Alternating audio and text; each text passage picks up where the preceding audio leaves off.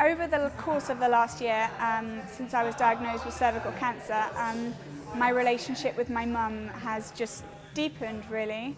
She was the person that came to all my hospital appointments with me. Um, we listened to Boyzone in the car and sing and she, she just always was the person to help me keep my spirits up. She slept in uncomfortable hospital chairs next to me.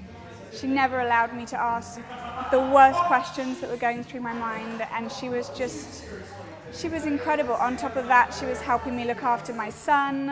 Um, but yeah, just just a support and happy and a real joy to be around during the worst possible time. I literally couldn't have got through it without her. I think the scariest thing about being a mum is the responsibility you have to this wonderful little person that you've brought into the world.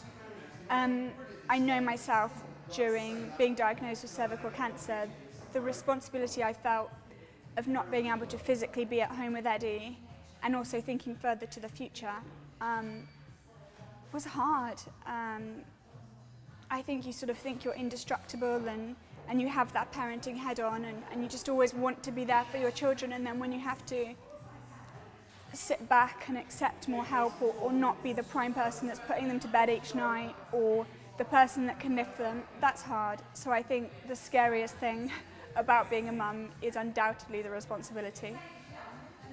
Since becoming ill, I'm, I'm actually less strict about routine and my mum helps me out by taking Eddie to nursery a morning. So each morning we get up and we have half an hour where we talk, where we hug, where we might just lie in bed and there's no rush. And I really try to start our day like that now because children don't understand structure and we've got to be to nursery on time or mummy's got to be at work. They don't understand those things. So I have become a lot more relaxed um, as a mum and it definitely, it's definitely benefited our relationship actually just starting the day with no rush, no stress, just me and Eddie, exactly as it should be.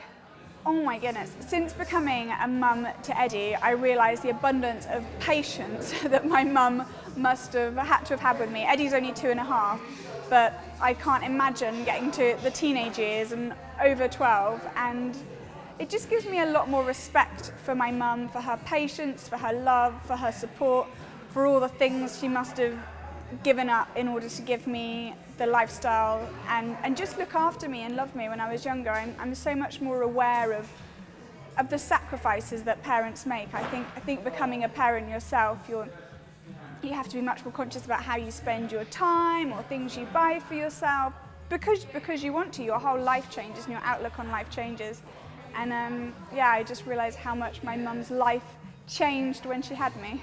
Oh my goodness, I've had so many lovely mum moments with Eddie, but I think it was probably about six weeks ago and I was buttoning up his coat in the kitchen and he stopped me and he looked at me and he said, I love you, my mummy.